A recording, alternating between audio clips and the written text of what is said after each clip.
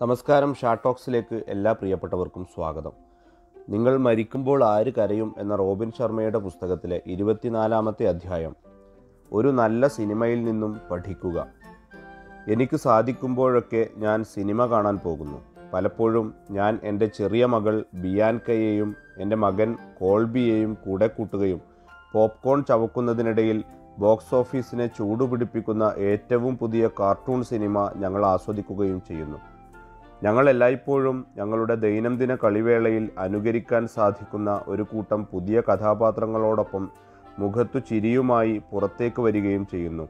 ഞാൻ പ്രഭാഷണത്തിനായുള്ള യാത്രയുടെ മാർഗമധ്യേ ഏത് നഗരത്തിലായാലും ഒരു നല്ല സിനിമ കാണുന്നതിനായി ദിവസത്തിന്റെ അവസാനം ഒരു സിനിമാ തിയേറ്ററിലേക്ക് വഴുതിപ്പോകാൻ ഏതാനും മണിക്കൂറുകൾ കണ്ടെത്തുകയും ചെയ്യുന്നു. സിനിമകൾ എന്നെ വിശ്രാന്തി അനുഭവിപ്പിക്കുക മാത്രമല്ല അവ എന്നെ വ്യത്യസ്തമായ ഒരു ലോകത്തിലേക്ക് കൊണ്ടുപോകുകയും ജീവിതം പേറുന്ന എണ്ണമറ്റ സാധ്യതകളെക്കുറിച്ച് ചിന്തിക്കുന്നതിന് അത് തുടരാൻ പ്രചോദിപ്പിക്കുകയും ചെയ്യുന്നു എന്ന് ഞാൻ കാണുന്നു. സിനിമകൾ എനിക്കുള്ളിലെ ഒരു സ്വപ്നജീവിയെ പുറത്തു കൊണ്ടുവരുന്നു എന്ന് ഞാൻ ഊഹിക്കുന്നു. അടുത്ത കാലത്ത് ഒരു ലൈഫ് ഈസ് ബ്യൂട്ടിഫുൾ എന്നൊരു ഇറ്റാലിയൻ സിനിമ കണ്ടു. സബ് ടൈറ്റിലുള്ള സിനിമയായിരുന്നു എങ്കിലും അതെന്നെ ഏതാണ്ട് മൂന്ന് മണിക്കൂർ പിടിച്ചിരുത്തുകയും അടുത്ത കാലത്ത് ഞാൻ കണ്ട ഒരു സിനിമയും ചെയ്യാത്ത വിധം എന്നെ ഇളക്കുകയും ചെയ്തു. കഥ അധികവും സ്നേഹനിധിയായ ഒരു പിതാവിലും തന്റെ കൊച്ചുകുട്ടിയുമായുള്ള അയാളുടെ അടുത്ത ബന്ധത്തിലും കേന്ദ്രീകരിക്കപ്പെടുന്നു.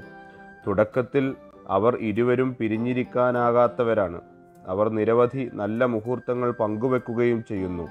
പെട്ടെന്ന് ഒരു ഉച്ചനേരത്ത് അവർ ഇരുവരെയും അവരുടെ വീട്ടിൽ നിന്ന് പിടിച്ച് കുപ്രസിദ്ധമായ ഓഷ്വിറ്റ്സ് നാസി തടങ്കൽ പാളയത്തിലേക്ക് അയക്കുന്നതിനായി ഒരു തീവണ്ടിയിലിരുത്തുന്നു സിനിമയുടെ ബാക്കി ഭാഗം തടങ്കൽ പാളയത്തിലെ ഞെട്ടിപ്പിക്കുന്ന പരമയാതനകൾക്കിടയിലും തന്റെ കുട്ടിയെ ജീവനോടിരുത്താൻ മാത്രമല്ല അവനെ സന്തോഷിപ്പിക്കാനും ആ അച്ഛൻ നടത്തുന്ന അവിശ്വസനീയമായ ശ്രമങ്ങൾ നമുക്ക് കാണിച്ചു തരുന്നു. അന്ത്യത്തിൽ ആ പിതാവ് സ്വന്തം ജീവിതം ബലി കൊടുക്കുന്നുവെങ്കിലും ജീവിതം ഒരു വരദാനമാണ്. നമ്മുടെ ജീവിതത്തിലെ ഓരോ ദിവസവും നമ്മളതിനെ മികച്ചതാക്കണം എന്ന ശക്തമായ ഓർമ്മപ്പെടുത്തലാണ് ലൈഫ് ഈസ് ബ്യൂട്ടിഫുൾ. ഒരു നല്ല സിനിമയ്ക്ക് നിങ്ങളുടെ കാഴ്ചപ്പാടിനെ പുനർനിർമ്മിക്കാനാകും. നിങ്ങൾ ഏറ്റവും അധികം വിലമതിക്കുന്ന കാര്യങ്ങളുമായി നിങ്ങളെ വീണ്ടും കോർത്തിണക്കാനും ജീവിതത്തിലെ എല്ലാ കാര്യങ്ങളെ സംബന്ധിച്ചും നിങ്ങളെ ആവേശഭരിതനാക്കി നിലനിർത്താനും കഴിയും. റാൽഫ് വാൾഡോ എമേഴ്സൺ പറഞ്ഞതുപോലെ ആവേശമില്ലാതെ ഒരിക്കലും മഹത്തായതൊന്നും കൈവരിക്കപ്പെട്ടിട്ടില്ല.